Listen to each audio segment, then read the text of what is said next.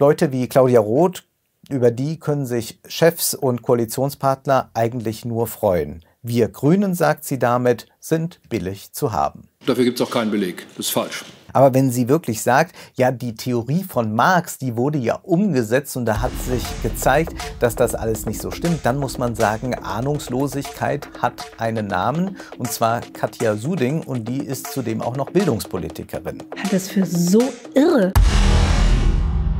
Die Politikanalyse. Herzlich willkommen zu die Politikanalyse. Heute soll es um den Neoliberalismus in all seinen Facetten gehen.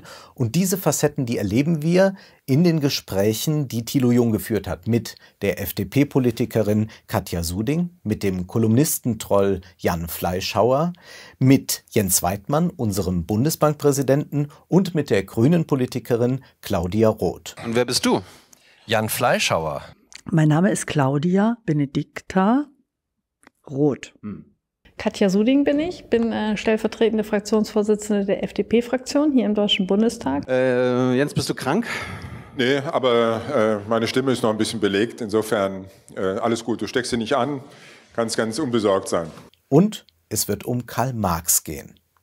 Neoliberalismus, dieser Begriff ist in aller Munde, aber eigentlich will keiner ein Neoliberaler sein. Ich erinnere mich da an eine Bundespressekonferenz im Oktober 2018. Dort saß Friedrich Merz und Thilo sagte zu ihm, dass er ja für die neoliberale Richtung in der CDU stehen würde. Aber Merz entgegnete, ich habe mich nie als Neoliberaler empfunden. Das ist ein politischer Kampfbegriff geworden. Ich äh, habe mich nie als Neoliberaler empfunden. Das ist ein politischer Kampfbegriff geworden, anders als er ursprünglich mal von denen, die den Liberalismus in Deutschland formuliert haben, gedacht war. Und deswegen habe ich mich von diesem Begriff auch immer distanziert. Nun, Seit Jahr 2016 arbeitet Merz als Aufsichtsratsvorsitzender und Lobbyist des deutschen Ablegers von BlackRock, dem größten Vermögensverwalter der Welt. Ich bin übrigens dankbar dafür, dass die meisten, jedenfalls in der Beschreibung dieser Firma, auch richtig darauf hingewiesen haben, das ist keine Heuschrecke, das ist äh, kein Private Equity, das ist ein Vermögensverwalter. Äh, ja, der größte auf der Welt, aber Vermögensverwalter sind Treuhänder der Einlagen ihrer Kunden. Und gleich darauf sagt er dann auch, na ja, also ein Sozialstaat, der kann nur so viel ausgeben, wie die Wirtschaftsnation dann auch verdient. Ich war allerdings auch immer der Überzeugung, dass ein Sozialstaat nur das ausgeben kann, was ein, eine Wirtschaftsnation oder eine Volkswirtschaft auch in der Lage ist zu verdienen. An der, in, an der Überzeugung ändert sich bei mir auch in Zukunft nichts. Und außerdem, Deutschland hat eine viel zu kleine Zahl an Aktionären. Ich bin schon der Auffassung, dass wir grundsätzlich über die Frage bis hin zu der Frage, wie beteiligen wir eigentlich eine größere Zahl von privaten Haushalten an den Kapitalmärkten, dass wir über diese Frage reden müssen. Deutschland hat eine viel zu kleine Zahl von Aktionären. Andere Länder sind da viel weiter als wir und ich möchte auch dazu einen Beitrag leisten, dass wir weiterkommen. Hm. Aber Merz ist kein Neoliberaler.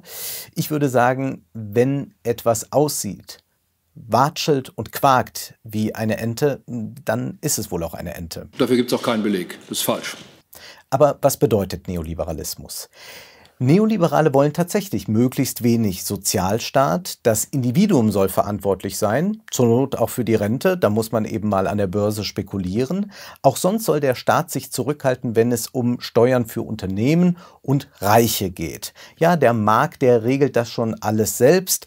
Der Markt muss deshalb auch nicht irgendwelchen Regulierungen unterworfen werden. Gerade der Finanzmarkt, der muss frei agieren können. Also fast alles regelt der Markt selbst. Nicht nicht ganz alles, denn einen starken Staat, den wünschen sich Neoliberale schon, wenn es um Sicherheit geht. Der Staat soll auf das Eigentum, in Klammern der Reichen natürlich, aufpassen. Und der Staat soll zwar die Unternehmen und Spekulanten schalten und walten lassen, doch in einer Krise wie etwa der von 2007 soll der Staat dann doch als Retter in der Not erscheinen um die zu retten, die meistens für die Katastrophe verantwortlich waren. Ähm, nicht zuletzt fordern ja Neoliberale, der Staat muss, um handlungsfähig in einer Krise zu sein, auch kräftig auf die Schuldenbremse drücken, damit er in der Krise dann als Garant und Bürger den Karren wieder aus dem Dreck ziehen kann. Und so verwundert es nicht, dass Bundesbankpräsident Jens Weidmann immer wieder betont, wie wichtig es ist, dass sowohl die Bundesbank als auch die Europäische Zentralbank unabhängig sind von der Regierung. Wir sind unabhängig. Unabhängig. Unabhängig. In der Geldpolitik hat die Politik nichts zu suchen, deswegen sind wir unabhängig. Ja gut, du bist von der Bundesregierung vorgeschlagen, ne? Ja, trotzdem sind wir unabhängig. Mhm. Also kann mich nicht entlassen. Das heißt, eine Regierung kann jetzt nicht einfach sagen, hey Bundesbank, hey EZB, wir wollen jetzt investieren, zum Beispiel in erneuerbare Energien, also brauchen wir mehr Geld, druckt man ordentlich Scheine. Aber es gibt durchaus solche Ansätze, die sagen, naja, diese Unabhängigkeit ist problematisch. Zum Beispiel gibt es da den Ansatz der Modern Monetary Theory. Und eine Zuschauerin fragt auch dann Weidmann eben zu dieser Theorie, was er davon hält. Und sie sagt dann zum Beispiel, dass die Verschuldung eines Staates nicht zwangsläufig zu einer höheren Inflation führt. Es gibt ja die sogenannte MMT, also Modern Monetary äh, Theory von Stephanie Kelton. Also kurz, ihre Grundtheorie ist so im Prinzip, Verschuldung schafft nicht zwangsläufig eine höhere Inflation. Wie man am Beispiel von Japan sieht. Aber Weidmann will davon nichts wissen. Er möchte die Notenbank nicht im Dienste einer solchen Fiskalpolitik sehen. Das lehnt er ab. Also Modern, Mon Modern Monetary Theory ist ja im Grunde folgendes. Man stellt die Notenbank in den Dienst der Fiskalpolitik. Äh, das nennt man auch fiskalische Dominanz als Fachbegriff. Und das, Gegen, das Gegenmodell ist das, was wir im Moment haben. Also, dass die Notenbank Schulden finanziert. Also letztlich ist die Notenbank dann nicht mehr unabhängig, sondern sie ist abhängig und sie stellt sich voll und ganz in den Dienst der Fiskalpolitik. Und das heißt, die Notenbank druckt halt Geld, wenn der Finanzminister es braucht. Und die Vorstellung, dass das irgendwo kontrollierbar ist, die ist zumindest in der Realität jetzt nicht unbedingt empirisch wirklich gut fundiert, um es mal vorsichtig äh, auszudrücken. Deswegen haben wir uns ganz bewusst entschieden, wir machen die Notenbank unabhängig, weil wir gelernt haben, dass man Wirtschaftswachstum bei stabilen Preisen haben kann. Und ähm, insofern wäre das jetzt nicht der Weg, den ich empfehlen würde. Nun, die Bundesbank agiert unabhängig von der Regierung. Das ist schon immer so, genauer gesagt seit 1957. Aber was bedeutet eigentlich hier unabhängig?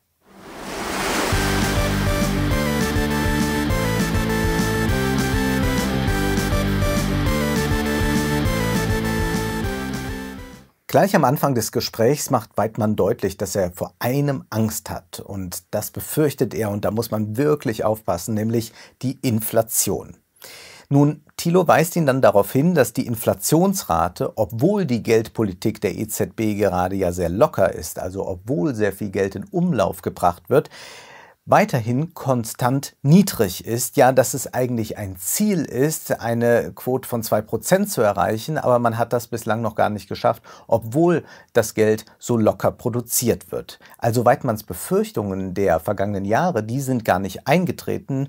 Die Inflation liegt in weiter, weiter Ferne, weshalb man auch sagen könnte, na ja, dann ist dieser Ansatz mit der Modern Monetary Theory, um Investitionen zum Beispiel für erneuerbare Energien zu starten, gar nicht so schlecht nicht. Und die Zuschauerin hat ja recht, wenn sie sagt, in Japan wird das auch gemacht. Die haben auch kein Problem mit äh, einer höheren Inflation. Oder es wird auch das Helikoptergeld angesprochen. Auch da ist Weidmann ja sehr, sehr skeptisch. Helikoptergeld ist ja nichts anderes, als dass wir Geld verschenken. Helikoptergeld wird heißen, wir verschenken was. Was habe ich, wenn ich was verschenke? Ein Loch in der Bilanz. Da muss man sagen, in den USA hat das auch schon mal funktioniert. In den USA hat man immer mal wieder Schecks an Bürger verschickt, dass die Bürger einfach mehr Geld hatten, um zu konsumieren. Und da gab es auch nicht eine katastrophale Inflation. Stets betont Weidmann die Unabhängigkeit und die Neutralität seiner Institution. Wir sind unabhängig. Unabhängig unabhängig. Doch die Agenda, die verfolgt wird, die ist keineswegs so neutral. Für Preisstabilität soll die Bundesbank sorgen. Aber genau das ist hochideologisch. Die Geldpolitik wegen dieses engen Mandats hat ein Ziel Preisstabilität.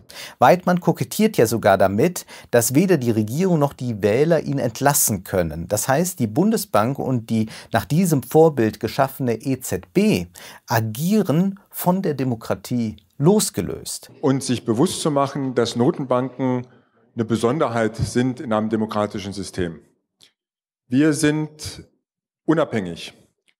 Und das heißt, du kannst mich nicht abwählen, du kannst mich auch nicht wählen, sondern, und die Politik kann mir keine Vorgaben machen. Und das war eben die Lehre aus den Erfahrungen in den 70ern und in den 80ern hat man die dann langsam äh, gezogen. Man hat die Notenbanken unabhängig gemacht. Das ist eigentlich in einer Demokratie ein Fremdkörper. Das muss man sich ja mal vorstellen. Wenn Wähler nun eine Politik gewählt haben, die sagt, wir wollen investieren in Bildung, in erneuerbare Energien, in Vollbeschäftigung, deshalb brauchen wir eine expansive Geldpolitik, dann kommen Weidmann und Design und sagen, nee, gibt's aber nicht. Ihr könnt die Politik, wenn euch das nicht gefällt, könnt ihr zur Politik gehen und sagen, es gefällt euch nicht, wir wählen euch nicht mehr. Wenn wir denen sagen, macht dieses und jenes, könnt ihr euch für die Bundesbank stellen, ihr werdet mich nicht los. Ja? Wenn wir jetzt anfangen zu sagen, naja, wir entscheiden jetzt darüber, welche Autobahn gebaut wird im Sinne eines Zusammenspiels zwischen Fiskalpolitik und Geldpolitik, bei dir zu Hause machen wir keine Straße, aber bei ihr machen wir eine zum Beispiel, oder wir machen jetzt mal Klimaschutz, ja, dann würdet ihr oder zumindest das Parlament irgendwann zu Recht sagen, ah, Moment mal, vielleicht gefällt uns das gar nicht, was sie da machen, oder dem einen gefällt es, dem anderen nicht, aber den habe ich dafür gar nicht wählen können. Ja, und das führt dann zu einer Diskussion, dass man irgendwann die Unabhängigkeit der Notenbank in Frage stellt.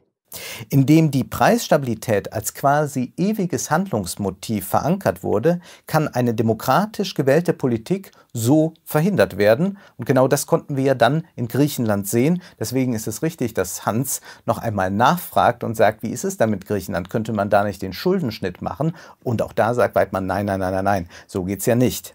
Braucht am Ende, das kann sein 2032 folgende, braucht Griechenland einen Schuldenschnitt? Also lange Frage, kurze Antwort. Äh, unsere Auffassung der Bundesbank ist, dass es auch ohne Schuldenschnitt geht. Das ist durchaus typisch für den Neoliberalismus, denn der Neoliberalismus hat ein recht schwieriges Verhältnis zur Demokratie.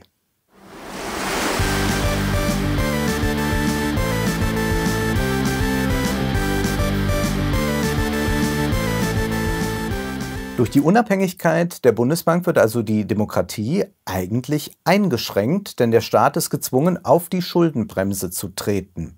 Und das hat sich ja bei der Finanzkrise dann auch deutlich gezeigt.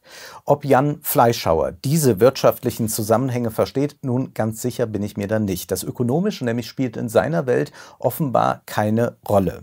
Findest du das wirklich, das, findest das für dich wirklich interessante Fragen? Was denn? Das Ökonomische? Na, das ist ja das das Allerentscheidendste, oder?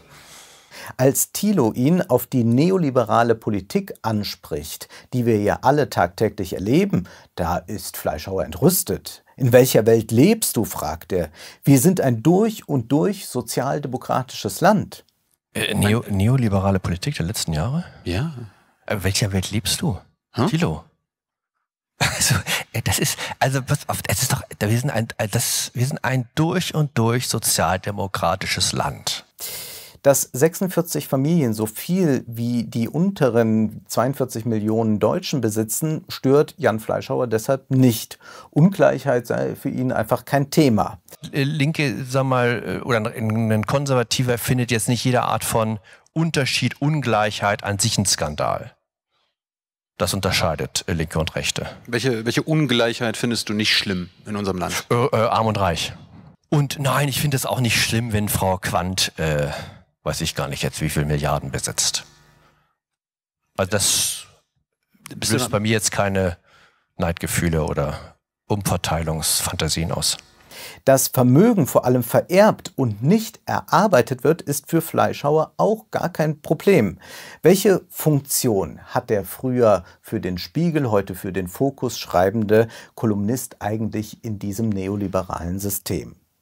Nun, jetzt könnte man auch wie Jan Fleischhauer mit ad hominem Argumenten kommen. Und sicherlich mir fiele so einiges ein zu dem etwas zu kleinen Sakko, zu dem doch etwas schlecht sitzenden Hemd. Aber lassen wir das beiseite. Zunächst einmal stellen wir fest, Jan Fleischhauer ist ein Troll. Das wird doch ganz deutlich, indem er sagt, es reicht ihm einfach mal dagegen zu sein. Ja, du, du musst ja irgendwelche eigenen Gedanken haben, außer worum geht's, ich bin dagegen. Nee, das finde ich reicht. Das reicht? Ja.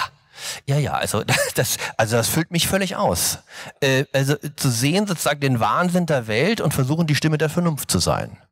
Und er ist sicherlich auch so etwas wie der Hofnarr der Herrschenden.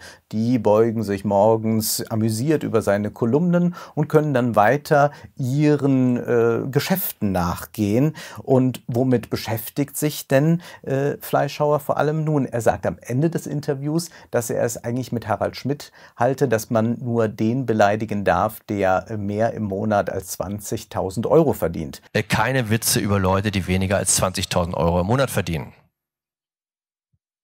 Äh, ich habe es bei Kevin Kühnert nicht ganz geschafft, das einzuhalten. Aber im Prinzip finde ich das eine richtige Herangehensweise. Du trittst dich nach unten. Genau. Du. Ja. Nun, wenn man aber jetzt schaut, mit wem sich da Fleischhauer so auseinandersetzt, dann ist das die Antifa, das sind Gender-Theoretiker, das sind protestierende Studenten. Ich glaube, die sind noch leicht unter 20.000. Doch die Hauptfunktion von Jan Fleischhauer, die ist folgende, nämlich von den herrschenden Verhältnissen abzulenken. Fleischhauer kann sich wunderbar und zugegebenermaßen mitunter virtuos über Gender-Toiletten und die Political Correctness aufregen.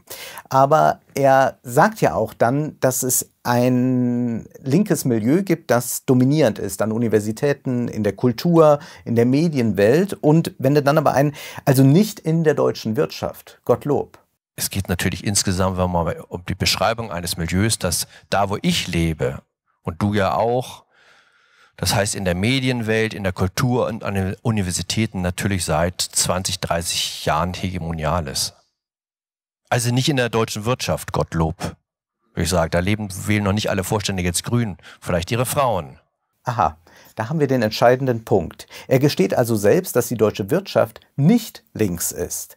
Das aber ist doch entscheidend. Wir müssen uns Fleischhauer wie einen Meeresbiologen vorstellen. Der kann detailliert jeden Fisch, jedes Meerestierchen beschreiben, aber nicht ein einziges Mal geht dieser Meeresbiologe darauf ein, dass sich das alles im Wasser abspielt.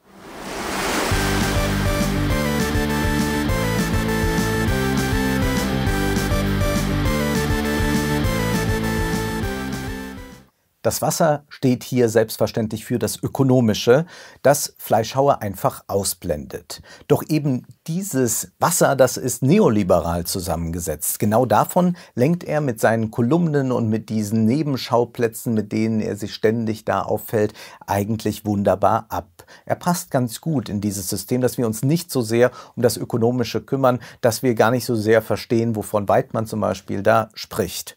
Unabhängig und dann gibt es natürlich diese Strategie von Fleischhauer zu sagen, naja, es ist ja eh doch schon alles in der Gesellschaft angekommen. Er sagt, Hand hoch, wer ist gegen Klimaschutz? Wer ist gegen Gleichberechtigung? Wer ist gegen Robben? Hebt, traut sich irgendjemand in diesem Saal jetzt die Hand zu heben und sagen, ja, ich finde auch in Ordnung, dass die Robbe abgeschlachtet wird, ja, ich bin auch gegen Gleichberechtigung. Da hinten, ganz hinten, da hinten, einer traut sich, aber mehr so aus, aus freiem Widerspruchsgeist, ja.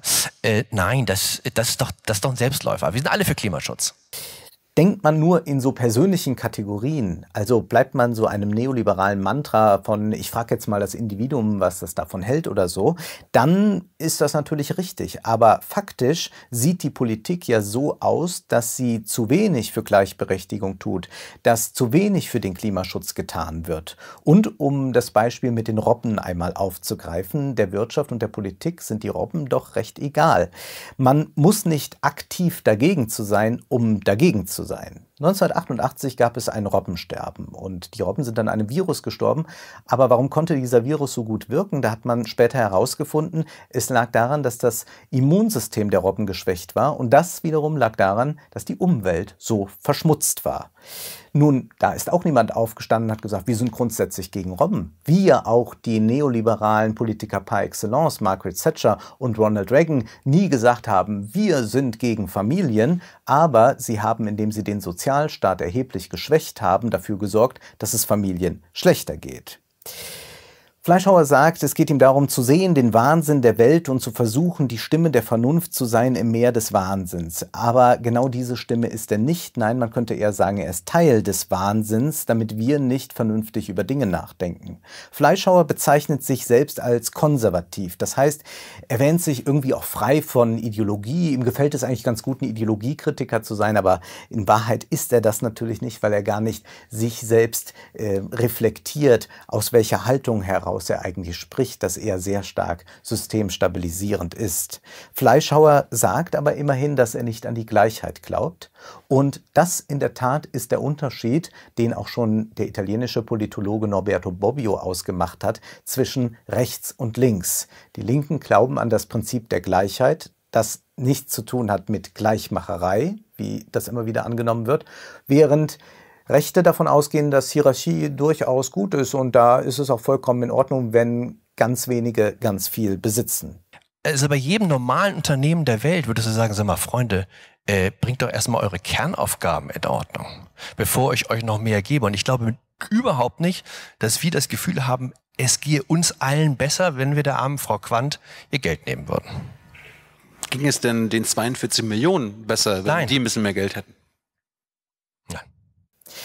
Fleischhauer macht eigentlich genau das, was er den Linken vorwirft. Diese würden sich nur noch um Vielfalt, Diversity kümmern und hätten zum Beispiel die soziale Herkunft von Menschen total vergessen. Und Thilo fragt ja gleich dann nach, ach, kritisierst du den Klassismus? Aber auch da möchte er sich jetzt nicht drauf einlassen. Er möchte sich nicht festlegen. Und er will das natürlich nicht, weil er genau davon lebt. Diese starke Fokussierung auf die Identitätspolitik, die es ja tatsächlich gibt, die dient ihm ja als Futter für seine Kolumnen. Und tatsächlich hat er da nicht ganz Unrecht. Und ein Beispiel wird nur einmal so nebenbei erwähnt, nämlich Annegret Kramp-Karrenbauer, die auf einer Karnevalssitzung äh, einen geschmacklosen Transgender-Witz machte. Und damit hat sie sicherlich Transgender-Leute beleidigt, wohl auch verletzt. Aber, und es gab dann gleich einen Shitstorm, aber interessanterweise gab es keinen Shitstorm, als AKK sagte, dass wir dringend mehr Milliarden brauchen für die Aufrüstung.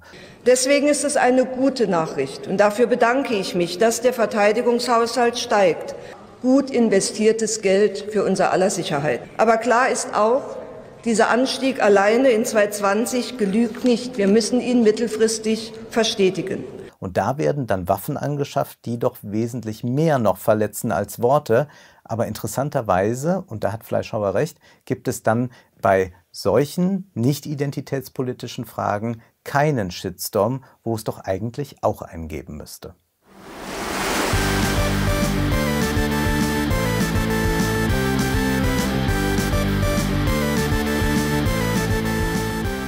Fleischhauer ist natürlich auch niemand, der sich jetzt kritisch mit der Aufrüstung auseinandersetzen würde. Ihm reicht es jetzt, AKK zur Seite zu springen in Sachen Gender-Toilette. Nun, Jan Fleischhauer ist eine Seite einer neoliberalen Medaille. Doch auf der anderen Seite dieser neoliberalen Medaille, da ist ein anderes Konterfei drauf gedruckt, nämlich das von Claudia Roth. Ja, richtig gehört. Claudia Roth gilt als typische Linke. Sie ist deshalb auch so etwas wie eine Hassfigur der Rechten. Auch für Leute wie Fleischhauer ist sie ein beliebtes Angriffsziel. Doch im Interview mit Thilo zeigt sich, dass Claudia Roth während der rot-grünen Regierung mit Gerhard Schröder und Joschka Fischer in erster Linie eine Neoliberale war. Oder. Claudia Roth, eine Neoliberale? Ja, man muss es so sagen. Wir müssen zwischen zwei Arten des Neoliberalismus unterscheiden. Es gibt einen rechten, einen konservativen Neoliberalismus, in der extremsten Form gerade mit Bolsonaro in Brasilien.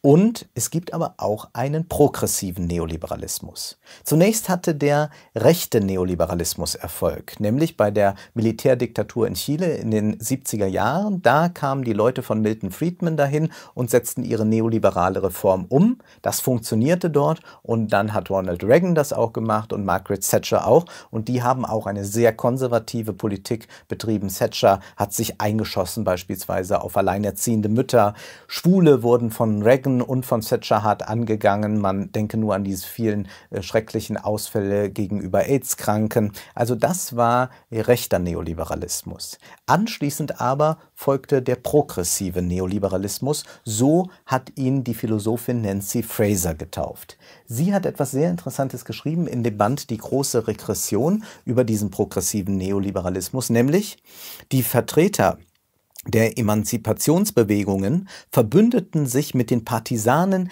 des Finanzkapitalismus zum Angriff auf die sozialen Sicherungssysteme. Das Ergebnis ihres Team-Ups war die der progressive Neoliberalismus. In ihm vereinen sich eingeschränkte Emanzipationsideale und menschenfressender Finanzkapitalismus. Genau diese Kombination ist es, die Trumps Wähler in Toto zurückgewiesen haben. Zu ihnen, den Verlierern der schönen neuen kosmopolitischen Welt, gehören neben Industriearbeitern auch Angestellte, kleine Selbstständige sowie alle, die von der alten Industrie im Rustbelt und im Süden abhängig waren und die von Arbeitslosigkeit Arbeitslosigkeit und Drogenmissbrauch geplagte Landbevölkerung. Dass diese beiden Parteien überhaupt zusammenfanden, war nur durch die Abwesenheit einer echten Linken möglich. Und das können wir auch übertragen, was hier für die USA geschildert wird, auf Deutschland. Denn es ist doch erstaunlich. Claudia Roth weist natürlich in diesem sehr schönen Interview auf ihre Errungenschaften hin. Und dann geht es natürlich, dass sie die Rechte von Minderheiten gestärkt hat. Ganz wichtig auch die Ehe für alle. Doch bei Hartz IV, da wird sie ganz merkwürdig schmallippig. Ja, bei der Agenda 2010, da könnte ich mir jetzt einen leichten Fuß machen, sagen, war immer dagegen, stimmt nicht. Ähm, ich war ich habe zugestimmt. Allerdings haben, waren ich habe es mit unterstützt damals oder mitgetragen wegen dieser Integration von Sozialhilfeempfängern und Empfängerinnen. Also raus aus dem draußen rein in den System. Ja, es sei ihr doch so um die Integration der Arbeitslosen äh, gegangen bei dieser Hartz-IV-Reform. Nun, das ist ja schon eine herrliche Beschönigung eines Systems, das mit Angst und Sanktionen arbeitet. Klar, äh, auch ein Gefängnis kann eine Integrationsmaßnahme sein, nur die Frage ist, ob das so schön ist. Warum aber kann auch der Neoliberalismus überhaupt progressiv sein? Warum kann er auch fortschrittlich sein?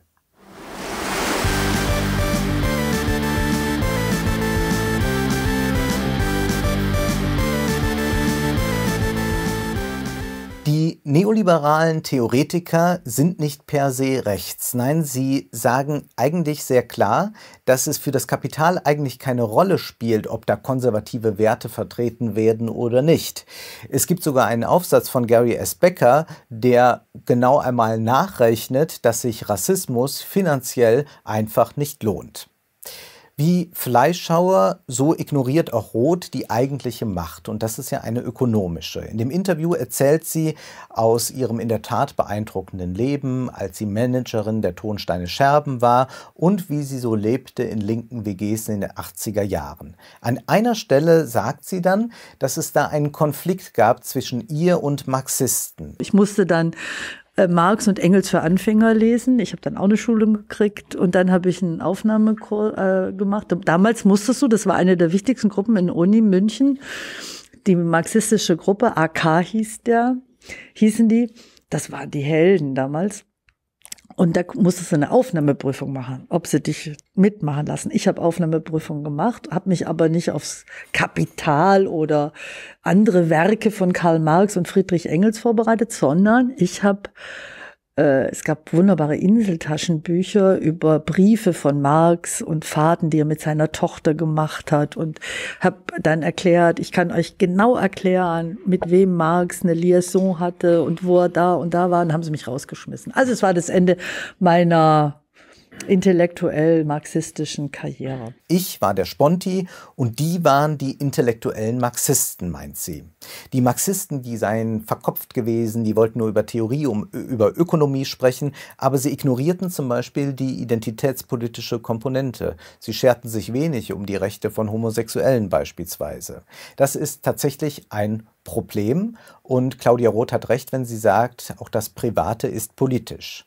Doch dann drehte Roth, als sie dann Politikerin wurde, eigentlich den Spieß um und klammerte das Ökonomische aus, beziehungsweise die ökonomische Ungleichheit. Roth hat als Politikerin dann eben die Agenda 2010, die Hartz-IV-Gesetze mitgetragen und hat damit die ökonomische Ungleichheit ganz deutlich äh, verstärkt. Und hätte sie das nicht ausgeblendet, hätte sie dem ja eigentlich niemand zustimmen können.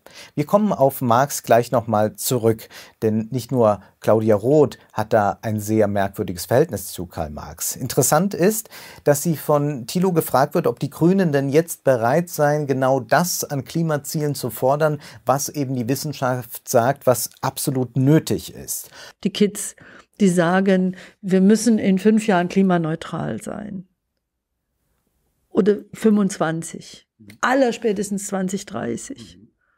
Da ist was dran. Aber mit den Vorgaben, die nicht gemacht worden sind, mit den Versäumnissen, die die, Bundes, die jetzige Bundesregierung jetzt mit diesem Pseudopaketchen da auf den Weg bringt, ist es nie und nimmer bei allen Anstrengungen nicht zu schaffen.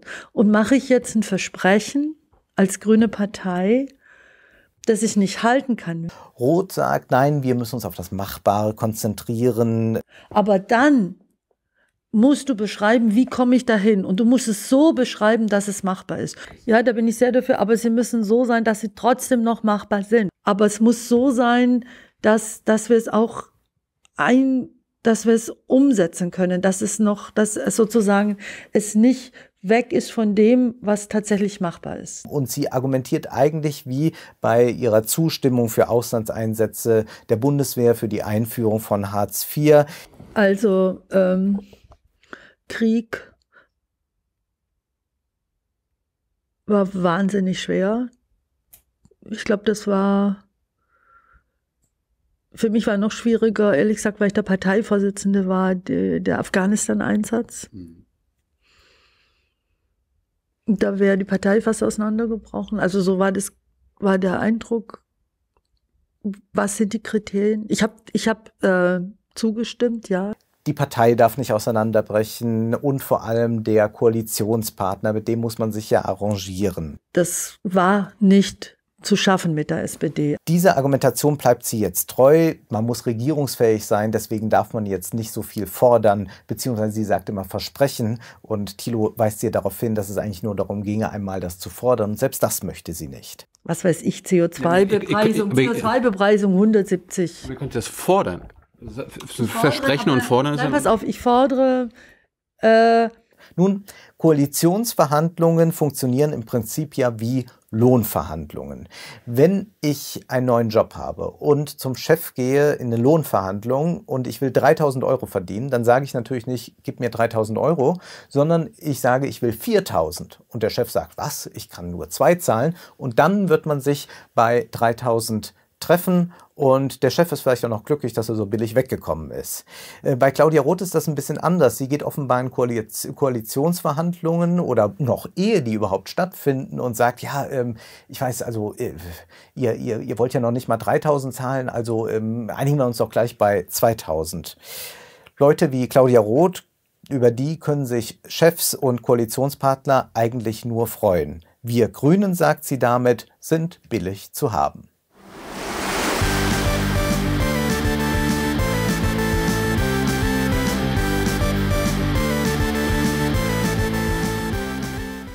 Der Neoliberalismus erlebte seine volle Blüte erst sehr spät, nämlich nach 98 dann mit der rot-grünen Regierung. Unter Helmut Kohl sah das anders aus. Da gab es einen höheren Spitzensteuersatz und da gab es mehr Sozialleistungen. Wenn wir sagen, Claudia Roth und Jan Fleischhauer sind nur die progressive und die konservative Seite derselben neoliberalen Medaille, müssen wir einen kleinen Blick zurückwerfen. Denn nicht die FDP hat FDP-Politik umgesetzt. 1982 erschien das Graf Lambsdorff-Papier. Der damalige FDP-Wirtschaftsminister Otto Graf Lambsdorff legte ein Konzept vor, dass, wenn man das heute liest, man eigentlich darin die Agenda 2010 wiedererkennt. Doch dieses Papier verschwand in der Schublade. Sowohl Kanzler Helmut Schmidt als auch Kanzler Helmut Kohl wollten es nicht umsetzen. Erst Kanzler Schröder wühlte in dieser Schublade, holte es hervor und machte die Agenda 2010 daraus. Die Krise der FDP liegt auch darin begründet, dass Rot-Grün eigentlich FDP-Wirtschaftspolitik betrieben hat. Katja Suding, die Stellvertreterin von Christian, Christian Lindner, die wird das sicherlich nicht so sehen. Sie will ja eigentlich den neoliberalen Kurs noch weiter radikalisieren.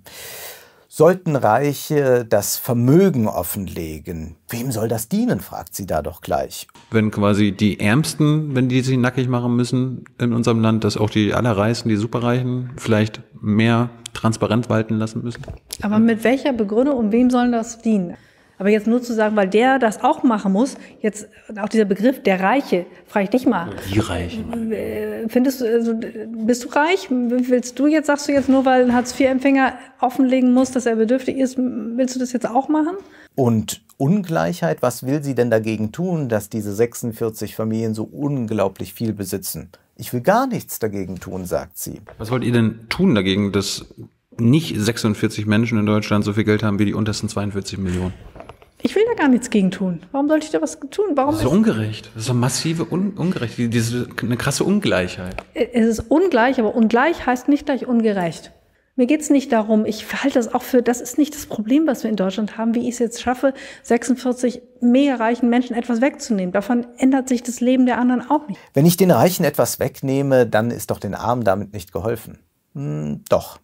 Der Staat hat dann nämlich mehr Geld für Soziales, für Kultur, für Infrastruktur. Und genauso könnte ja auch sie dann als FDP-Politikerin argumentieren, wenn mal wieder gesagt wird, man äh, müsste Sozialleistung kürzen. Dann kann man ja auch sagen, ach Gott, diese paar Euro, wem ist denn damit geholfen, wenn ich jetzt den Armen noch ein bisschen Geld wegnehme? Aber da ist komischerweise die FDP immer schnell dabei. Suding sagt, dass sie Chancengerechtigkeit will. Das sei so ihr Weltbild und das will sie auch in der Bildung. Sie ist ja Bildungspolitikerin.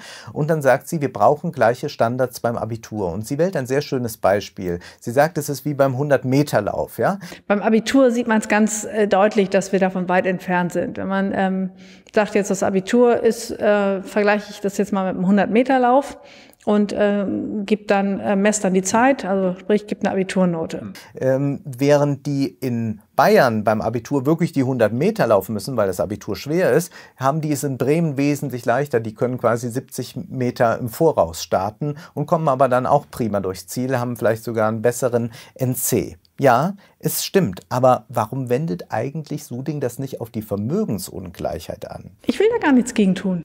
Die Superreichen und ihr Nachwuchs, um einmal bei diesem Bild des 100-Meter-Laufs zu bleiben, die mehr, die so viel besitzen wie die Hälfte der Deutschen, nun, die müssen ja gar nicht mehr loslaufen. Die sind ja längst am Ziel. Wo Vermögen vererbt wird, da hat man ja eben keine Leistungsgesellschaft. Da sind ja eben ganz, ganz viele, die schon 50, 60, 70 Meter im Voraus starten dürfen, während die anderen noch so schnell sein können, die werden genau das niemals erreichen. Aber da äh, ist wohl äh, keine olympische Disziplin bei der FDP zu erwarten. Und wir kommen hier an dieser Stelle an Karl Marx tatsächlich nicht vorbei.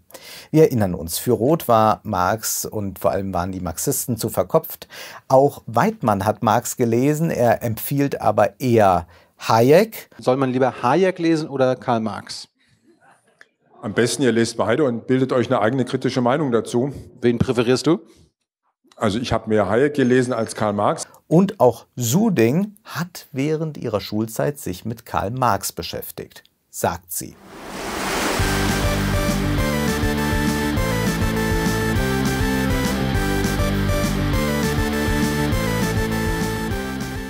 Suding sagt, das ist eine Theorie, die gut klingen mag, aber nicht funktioniert. Ich bin kein Marxist, also niemals geworden, aber trotzdem äh, ist es doch spannend, ähm, sich mit diesen Theorien auseinanderzusetzen. Was ist denn hängen geblieben? Ach, da ist ganz viel hängen geblieben. Ich glaube, wir brauchen jetzt hier kein Fachgespräch führen, aber ähm, klar ist. Ja, ist ja spannend, wenn eine FDPlerin ja. Marx erwähnt. Nee, gar nicht. Also sich damit zu beschäftigen und zu wissen, ähm, dass das eine Theorie ist, die äh, vielleicht auf den ersten Blick gut klingen mag, die aber nicht funktioniert. Thilo fragt nochmal nach, ja, hat er denn recht gehabt mit seiner Kritik am Kapitalismus? Nein, sagt sie. Hat er recht gehabt mit seiner Kritik am, am Kapitalismus? Nein. Nee. Nein. Warum nicht? Ja, weil es äh, schlicht und einfach alles nicht funktioniert hat. Also Kapitalismus ist ja nicht per se schlecht. Und sie verweist dann, dass die Theorie ja äh, umgesetzt wurde und da hat sich ja dann eben gezeigt, dass sich Marx geirrt hat. Und hier merkt man einfach, dass äh, Suding etwas sehr Eigenartiges tut. Sie glaubt nämlich, dass Karl Marx ausgebreitet hat in seinem Werk, zum Beispiel in seinem Hauptwerk Das Kapital, wie eine klassenlose Gesellschaft, wie der Kommunismus genau auszusehen hat. Ja, das findet man mal an den Rändern. Aber wenn sie wirklich sagt, ja, die Theorie von Marx, die wurde ja umgesetzt und da hat sich gezeigt, dass das alles nicht so stimmt, dann muss man sagen, Ahnungslosigkeit hat einen Namen und zwar Katja Suding und die ist zudem auch noch Bildungspolitikerin. Was Marx wirklich geschrieben hat, ist kein Entwurf des äh, Kommunismus, es ist eine Analyse des Kapitalismus, wenngleich Suding ja sagt, wir hier in Deutschland leben ja auch in einer Gesellschaft, die auch kein klassischer Kapitalismus ist, sondern wir haben eine soziale Marktwirtschaft. Wir leben ja gar nicht in einem, in einem klassischen Kapitalismus, was immer das sein soll, sondern in einer sozialen Marktwirtschaft. Lassen wir mal dahingestellt, wie sozial diese Marktwirtschaft ist. Es ist eine Ausprägung des Kapitalismus und der Kern von Marx, der stimmt noch immer, der Kern seiner Analyse. Und was ist dieser Kern? Marx beschäftigt sich mit dem Verhältnis von Arbeiter und Kapitalist. Und er bringt eigentlich ein sehr einfaches Beispiel. Wir lassen jetzt einmal diese ganzen marxistischen Begriffe weg, die sind tatsächlich etwas kompliziert. Aber äh, Marx sagt, der Arbeiter arbeitet an einem Arbeitstag, er erwirtschaftet an einem Arbeitstag, sagen wir, 200 Euro. Er bekommt aber von dem erwirtschafteten Geld nur einen Teil, seinen Lohn, und der beträgt, sagen wir, 100 Euro. Die restlichen 100 Euro, die behält der Kapitalist ein. Hat der Kapitalist 10 Arbeiter, dann verdient der Kapitalist an einem Tag 1000 Euro und jeder einzelne Arbeiter 100 Euro. Und das kann man ja schnell multiplizieren bei einem entsprechend großen Konzern. Und Marx sagt, das ist eigentlich eine Ungerechtigkeit. Warum darf denn der Arbeiter nicht mehr haben, beziehungsweise alles haben oder eben ein bisschen mehr. Und genau darum verhandeln ja auch immer zum Beispiel Gewerkschaften oder darum wird verhandelt, wenn es um die Arbeitszeit geht, wie lange eigentlich gearbeitet werden darf. Wenn, äh, wie kann also der Kapitalist dann mehr Profite erwirtschaften, wenn man jetzt sagt, gut, der Arbeiter, der äh, schafft jetzt momentan 200 Euro zu erwirtschaften, 100 muss äh, der Kapitalist abgeben an den Arbeiter. Nun, man kann entweder die Arbeitszeit erweitern und sagen, der arbeitet nicht acht Stunden, sondern zwölf Stunden, aber bekommt nicht mehr Geld. Aber auch der technische Fortschritt spielt dem Kapitalisten in die Hände, denn wenn eine Maschine zum Beispiel besser ist, da hat es einen Fortschritt gegeben, dann kann eine einzelne Arbeiter, also jetzt ganz abstrakt gesehen, an einer und ganz konkret zugleich an einer Maschine nicht mehr nur 200 Euro erwirtschaften, sondern wenn die entsprechend schneller ist, vielleicht 1000 Euro erwirtschaften. Und dann ist es aber auch nicht so, dass der Arbeiter plötzlich 500 Euro bekommt, sondern der bekommt wahrscheinlich immer noch 100 Euro, während der Kapitalist 900 Euro dann verdient. Deswegen ist es eine sehr interessante Frage, die dann angesprochen wird im Gespräch mit Suding, wenn es darum geht, dass mit der Digitalisierung ja Arbeitsplätze wegfallen. Das heißt, es wird, werden nicht mehr so viele Arbeiter gebraucht, es kann genügend erwirtschaftet werden durch den technischen Fortschritt.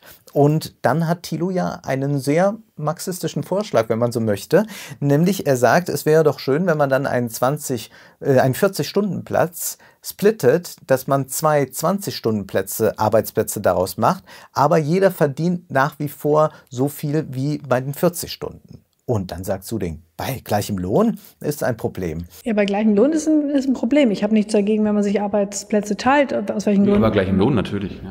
Äh, nee, wieso? Ich habe nichts dagegen, wenn man sich Arbeitsplätze teilt, aber natürlich äh, soll auch der Lohn dann so geteilt werden, dass jeder nur die Hälfte hat. Aber warum soll das eigentlich ein Problem sein? Schließlich verdoppelt ein Unternehmen doch auch seinen Profit, dann könnte doch auch die Arbeitnehmerschaft zumindest teilweise etwas davon haben. Ein Arbeiter erwirtschaftet eben dann, wie gesagt, nicht 200, sondern 1000 Euro, doch er erhält davon eigentlich nichts. Es gibt auch andere Möglichkeiten der Profitmaximierung, wie eben die rot-grüne Regierung Regierung bewiesen hat, nämlich zum Beispiel mit der Agenda 2010 hat man dann die Zeitarbeit eingeführt und so konnten Gewerkschaften ein bisschen in die Schranken verwiesen werden und so konnten auch Unternehmen ihre ähm, Gewinne äh, maximieren. Oder man hat einen Niedriglohnsektor eingeführt. Das hat ja auf dem Weltwirtschaftsforum in Davos einst Gerhard Schröder stolz verkündet. Nun, wir sehen hier, wie aktuell eigentlich Marx ist und eine letzte Parallele zu Marx fällt einem da ein. Thilo sagt Suding, dass es doch die unternehmerische Freiheit auch gewesen sei, die Mitschuld trägt an der Klimakatastrophe. Nein, jetzt ist sie wirklich entrüstet. Nein, also die unternehmerische Freiheit ganz, hat sicherlich nicht dazu geführt, dass wir jetzt die Klimaprobleme ähm, haben. Wenn, wenn, wenn, wenn es dich nichts kostet, die Umwelt zu zerstören oder zu verpesten, dann ist das ja. Und welche Rolle spielen in der Überlegung die Verbraucher? Und wir brauchen auch keine strengeren Regeln, das machen wir alles mit Zertifikatehandel. Äh, diese armen, armen Unternehmen, wenn wir die jetzt noch weiter knechten und irgendwelchen Regelungen unterwerfen. Nun, das erinnert an etwas, was Karl Marx im ersten Band des Kapital beschreibt, nämlich es erinnert an die erbitterten Debatten im 19. Jahrhundert darüber, wie die Arbeitszeit dann verkürzt werden konnte, sollte oder nicht. Da haben damals zum Beispiel Unternehmen argumentiert, dass die Wirtschaft zusammenbricht, wenn Kinder nicht mehr nachts arbeiten. Und jetzt hören wir Unternehmen, vor allem die deutsche Autowirtschaft, die geht pleite, wenn wir jetzt strengere Klimagesetze haben. Um Gottes Willen, also es ist irre, so ein Vorschlag. Nun, damals ist der Kapitalismus nicht zugrunde gegangen und ich glaube, er ist auch heute stark genug und man sieht ja gerade, dass es solche politischen Reglementierungen gibt, die dann die deutsche Autoindustrie ankurbeln. Denken wir nur daran, dass ja in China und in Indien man längst darüber nachdenkt, dass man sagt, 2030, da gibt es dann keine Verbrennungsmotoren mehr. Also will die deutsche Autowirtschaft da weiterhin reüssieren, dann muss sie jetzt mal langsam in, äh, äh, in Fahrt kommen und muss sehen, dass sie eben in Innovationen setzt. Wo soll denn deine, deine Brennstoffzelle und die alternativen Kraftstoffe? Dazu brauche ich den Verbrennungsmotor. Und ich finde es gaga zu sagen, während andere Länder schon forschen nach alternativen Kraftstoffen, da auch schon weit sind, dass wir unsere Schlüsseltechnologie Verbrennungsmotor, der wir wirklich gut sind und die wir brauchen, wenn wir synthetische Kraftstoffe benutzen wollen, dann brauchen wir den Verbrennungsmotor. Geht nämlich gar nicht anders. Zu sagen, den verbieten wir. Ich halte es für so irre, das zu tun. Karl Marx ist also, kann man sagen, in diesen Interviews so etwas wie der Elefant im Raum, den eigentlich jeder übersehen will. Alle reden ja derzeit von Disruption, auch wenn Suding nicht so genau weiß, was das eigentlich ist. Weiß ich nicht. Weißt du nicht, was Disruption heißt? Wenn du, wenn du es so definierst. Aber vielleicht wäre ja heute ein Zurück zu Marx wirklich disruptiv. Aber das letzte Wort, das sollen Ton Steine Scherben haben, denn sie sangen schon, der Traum ist aus, aber ich werde alles geben, dass er Wirklichkeit wird.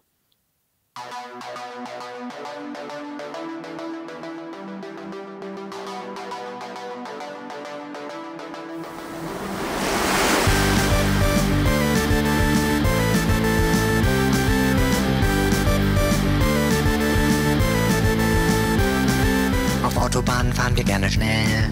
Unser Wachstum mögen wir exponentiell. Landwirtschaft ist industriell. Interessen in der Regel finanziell. So viel Plastik im Meer gab's noch nie. Und in der Einfahrt steht ein fetter SUV.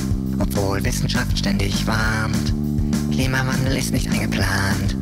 Wir sind alle neoliberal. Neo, neo, neo, neo, neoliberal. Wir sind alle neoliberal. Die Erde scheißegal, ist unsere Meute. Wir scheißen konsequent auf arme Leute. Das Einzige, was zählt, ist Macht und Geld. Wer braucht schon eine lebenswerte Welt? Solar- und Windkraft boykottiert. Der Standort BRD verliert. Uns treibt die Geo nicht der Sachverstand. So fahren wir den Karren an die Wand. Wir sind alle neoliberal. Neo, neo, neo, neo, neoliberal. Wir sind alle neoliberal. Die Erde scheißegal, wir sind neoliberal. Wir sind alle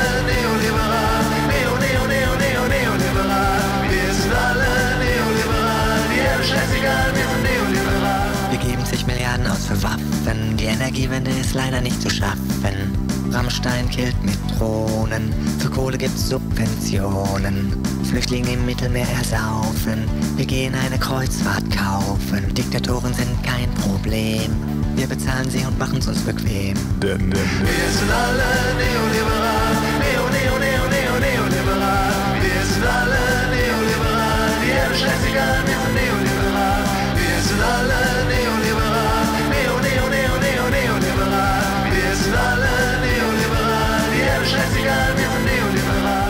Meisten es bereits vermuten, gehören wir natürlich zu den Guten. Weltbankkolonialismus, wir haben ihn vermarktet, den Faschismus. Aus Nichts schöpfen Banken Geld. Bitcoin wird mit Rechnern hergestellt. Der Gangster in der fetten Villa wohnt. Dem Gemeinwohlschaden wird belohnt. Wir sind alle neoliberal.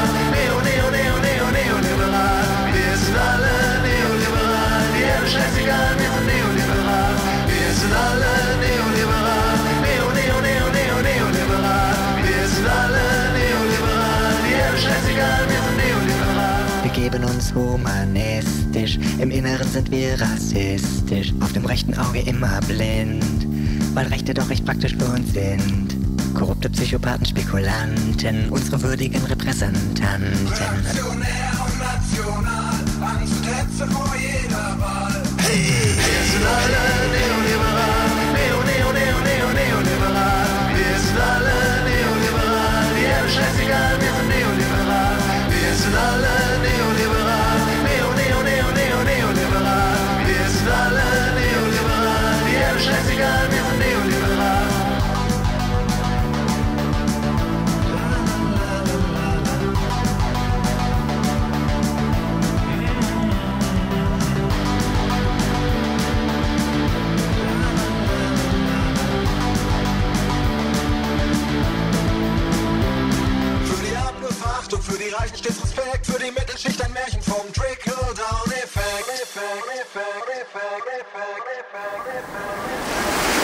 neoliberal. Neo.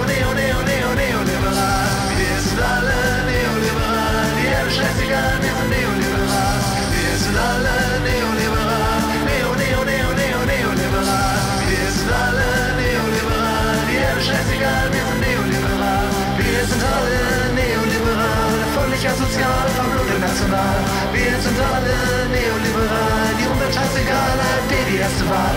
Wir sind alle neoliberal völlig asozial, verblödet national. Wir sind alle neoliberal, die Umwelt scheißegal, AfD die erste Wahl. Wir sind alle neoliberal, neo, neo, neo, neo, neoliberal. Wir sind alle neoliberal, neo, neo, neo, neo, neoliberal. Wir sind alle neoliberal, neo, neo, neo, neo, neoliberal. Wir sind alle neoliberal, die alle scheißegal, wir sind neoliberal. Wir sind alle neoliberal.